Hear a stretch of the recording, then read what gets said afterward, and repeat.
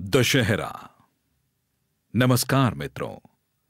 आज हम असत्य पर सत्य की विजय और अंधकार पर प्रकाश की विजय के पर्व दशहरा के बारे में चर्चा करेंगे। दशहरा, जिसे हिंदू धर्म में दशहरा या विजय दशमी भी कहा जाता है, दस सिर वाले राक्षस राजा रावण पर विष्णु के अवतार राम की विजय का प्रतीक अवकाश है। जिसने राम की पत्नी सीता का अपहरण कर लिया था। त्योहार का नाम संस्कृत शब्द दशा दस और हारा हार से लिया गया है। बुराई पर अच्छाई की जीत का प्रतीक दशहरा हिंदू कैलेंडर के सातवें महीने अश्विन सितंबर अक्टूबर के दसवें दिन मनाया जाता है, जिसमें पूर्णिमा दिखाई देती है। इस घटना को उज्जवल पखवाड़ा कहा जाता है। शुक्ल पक्ष, दशहरा नौ दिवसीय नवरात्रि उत्सव के समापन और दुर्गा के दसवें दिन के साथ मेल खाता है पूजा उत्सव। कई लोगों के लिए यह दिवाली की तैयारी की शुरुआत का प्रतीक है, जो दशहरे के 20 दिन बाद होती है। दशहरा बड़े उत्साह और धूमधाम से मनाया जाता है। उत्तर भारत में इसमें रामलीला, राम की जीवन की कहानी का एक भव्य नाटकीय अभिनय शामिल है। रावण के पुतले अक्सर मेघनाद, रावण के पुत्र और कुंभकर्ण, रावण के भाई के पुतलों के साथ पटाखों से भरे जाते हैं और रात में खुले मैदानों में आग लगा दी जाती है। दशहरे का त्योहार अपनी धारणा और महत्व में अद्वितीय है। महान हिंदू महाकाव्य रामायण के अनुसार भगवान राम ने दसवें दिन, यानी दशहरे के दिन, रावण का वध किया था। इसे पाप या अनैतिकता पर पुण्य की विजय कहा जाता है। कहा जाता है कि रावण ने राम की पत्नी सीता का अपहरण कर लिया था और वह एक तानाशाह शासक के रूप में भी जाना जाता था। रावण के अंत का मतलब बुरी और बुरी आत्मा का अंत था, क्योंकि वह भी जन्म से एक राक्षस था।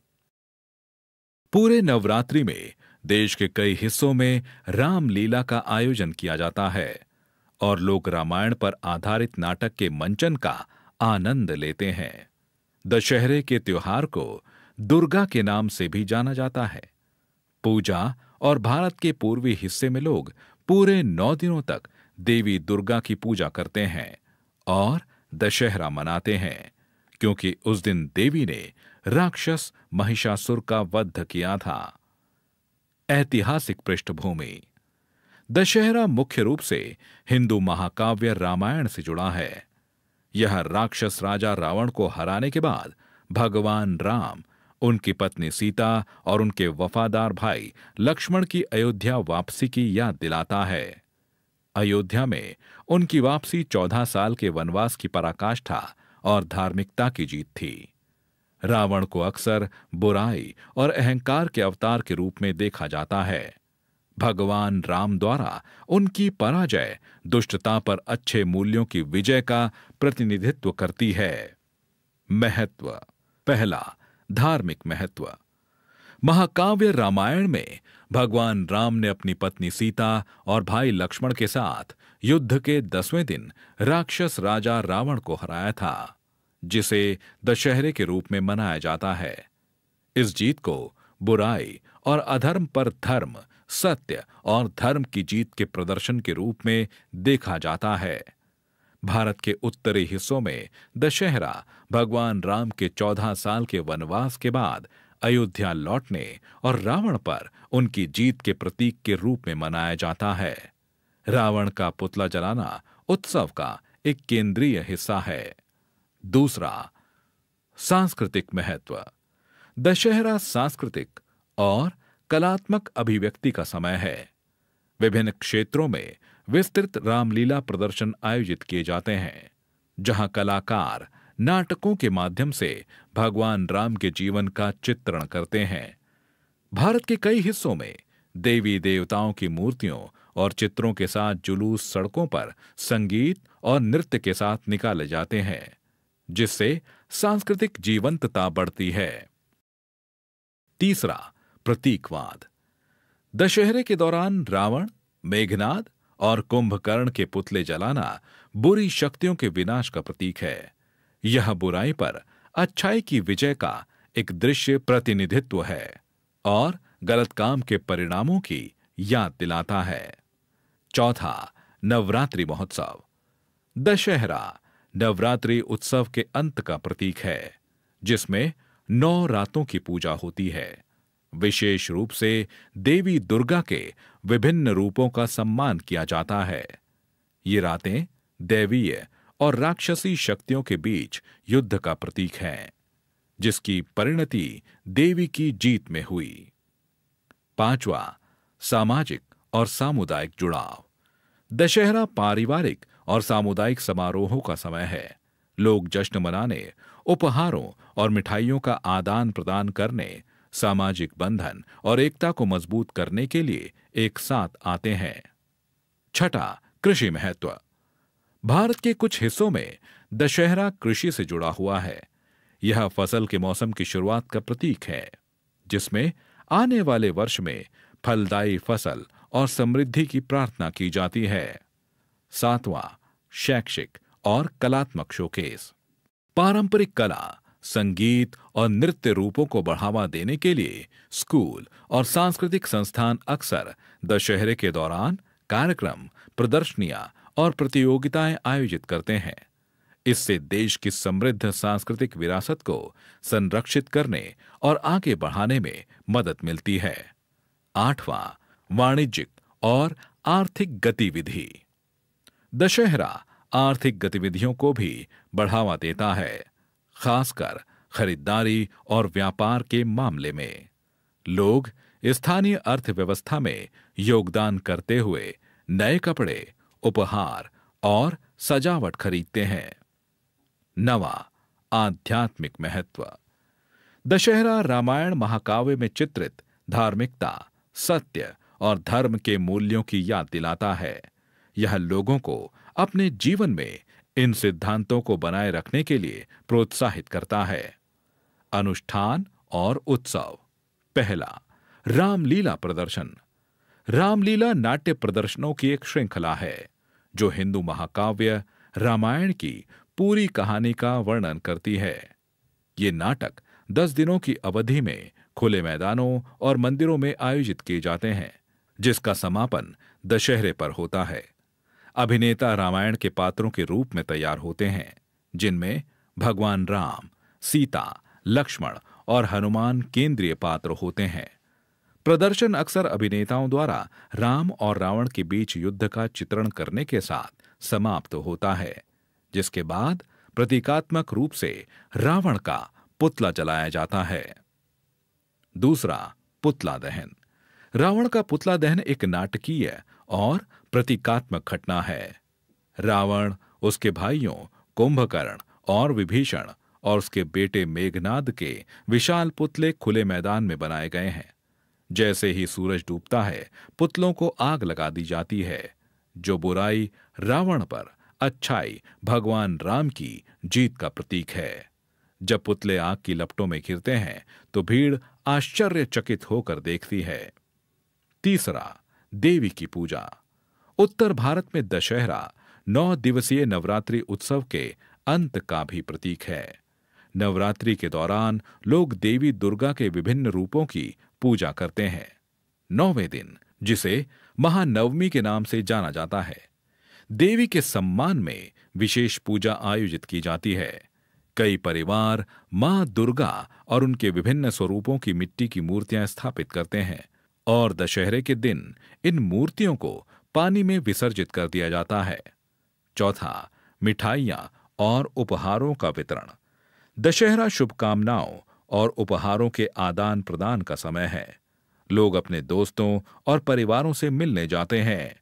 उनके स्नेह के प्रतीक के रूप में मिठाइयाँ और उपहार देते हैं। यह बंधनों को मज़बूत करने और खुशियाँ फैलाने का समय है। पांचवा, जुलूस। कुछ क्षेत्रों में भव्य जुलूसों का आयोजन किया जाता है। इन जुलूसों में रथों या पालकियों पर देवी देवताओं की विस्तृत रूप से सजाई गई मूर्तियाँ रखी जाती हैं। भक्त और दर्शक इन जुलूसों को देखने के लिए सड़कों पर कतारबद्ध होते हैं, जिनमें अक्सर पारंपरिक संगीत और नृत्य प्रदर्शन शामिल होते हैं। छठा, अनुष्ठानिक नृत्य। गुजरात में नवरात्रि उत्सव गरबा और डांडिया जैसे रंगीन नृत्यों के साथ मनाया जाता है। लोग हाथों में लाठियाँ डांडिया पकड़कर या ताली बजाते हुए सुंदर और लयबद्ध कदमों के साथ गोलाकार नृत्य करते हैं। ये नृत्य न केवल धार्मिक है, बल्कि सामाजिक और सांस्कृतिक उत्सव का भी एक रूप है। सातवां दशहरा मेले। कई स्थानों पर दशहरे के मौसम में मेलों का आयोजन किया जाता है। ये मेले मनोरंजन और सांस्कृतिक गतिविधियों की एक विस्तृत श्रृंखला पेश करते हैं, जिनमें लोक संगीत, पारंपरिक नृत्य प्रदर्शन, खाद्य स्टॉल और विभिन्न खेल और सवारी शामिल हैं। वे उत्सवों का केंद्र हैं और बड़ी भीड़ को आकर्षित करते हैं। दशहरा एक बहुआयामी त्योहार है, जो धार्मिक श्रद्धा, सांस्कृतिक उत्सव और सामाजिक समारोहों को जोड़ता है। यह पूरे भारत में लोगों के दिलों में एक विशेष स्थान रखता है और विशिष्ट रीति रिवाज और परंपराएँ एक क्षेत्र से दूसरे क्षेत्र में भिन्न हो सकती हैं, जो इसे बुराई पर अच्छाई की जीत का एक विविध और जीवंत उत्सव बनाती है। भारत के विभिन्न भागों में दशहरे का उत्सव, उत्तर भारत में दशहरा उत्सव उत्तर भारत में आमतौर पर लोग रावण, कुंभकर्ण और मेघनाथ का पुतला जलाकर दशहरा मनाते हैं और यह महाकाव्य रामायण पर आधारित नाटक की शुरुआत है। यह अंतिम दिन है और आमतौर पर लोग उत्सव का आयोजन करते हैं और उसका आनंद लेते हैं। राम, सीता और लक्ष्मण को ले जाने वाला एक रथ भीड़ के बीच से गुजरता है और राम का अभिनय करने वाला व्यक्ति एक एक करके पुतलों को जलाने के लिए तीर चलाता है। दशहरा उत्सव। नवरात्रि की हर रात लोग इकट्ठा होते हैं और नृत्य करते हैं। और यहाँ तक कि इस अवसर पर बहुत सारी प्रतियोगिताएँ और शो भी आयोजित किए जाते हैं। गाने आमतौर पर भक्तिपूर्ण होते हैं और नृत्य शैली को गरबा कहा जाता है। महिलाएँ अपने सबसे अच्छे परिधानों में खूबसूरती से सजाए गए मिट्टी के बर्तनों को घेरती हैं और देर रात तक नृत्य करती हैं।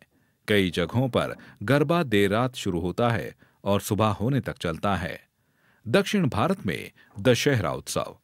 दक्षिण भारत में नवरात्रि के दिनों को तीन देवियों की पूजा करने के लिए समान रूप से विभाजित किया जाता है। लक्ष्मी, धन और समृद्धि की देवी, सरस्वती, ज्ञान और विद्या की देवी और दुर्गा शक्ति और ताकत की देवी। वे शाम के समय अपने घरों और सीढ़ियों को दियों और फूलों से सजाते हैं।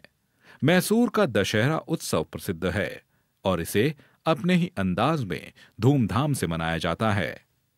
दशहरे के त्योहार से और भी कई कहानियाँ जुड़ी हुई हैं। कहानियाँ चाहे जो भी हों, भारत में त्योहार परोपकार, शांति और प्रेम का संदेश देते हैं। यदि लोग पूरे वर्ष सुंदर और सार्थक संदेशों को ध्यान में रखते तो चारों ओर शांति और सद्भाव होता। हालाँकि भारत में त्योहार सभी भारतीयों द्वारा मनाए जाते हैं। चाहे वे हिंदू हों या किसी अन्य धर्म से संबंधित हों, त्योहारों के मौसम में भाईचारे की भावना देखने को मिलती है। अंत में, दशहरा भारत में एक बहुआयामी त्योहार है, जो बुराई पर अच्छाई की जीत का प्रतीक है। दिव्यता का जश्न मनाता है और सांस्कृतिक और सामाजिक महत्व रखता है। यह चिंतन, नवीनीकरण और सद्गुण की विजय का जश्न मनाने के लिए एक समुदाय के रूप में एक साथ आने का समय है।